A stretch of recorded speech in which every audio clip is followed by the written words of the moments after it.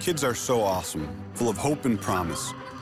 Now we have to make them a promise that we will clean up government for everyone, whether you're a Democrat or Republican. I'm Alexi Giannoulias, and as state treasurer, we ran one of the most ethical anti-corruption offices in the nation. And as Secretary of State, I'll keep politics out of the office so that when these kids are old enough to pay taxes, they'll get better services and less corruption. And yes, some more ice cream too.